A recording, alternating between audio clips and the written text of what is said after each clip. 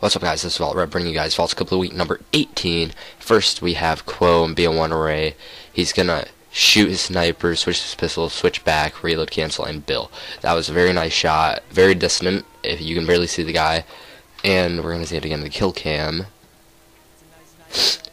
I'm a bit sick right now, but um, he shoots pistol switch and reload cancel and shoots again. That was very nice. But um, now we're gonna go to MW2 with Tweak and uh, he's gonna reload neck, can swap with the rocket launcher, can swap with the assault rifle, can swap the rifle, and um, yeah, that was very nice, very complex. And uh, if you guys did enjoy, drop a like on the video and um submit your clips to vault top 3 at gmail.com if you guys want to be featured on the vault channel.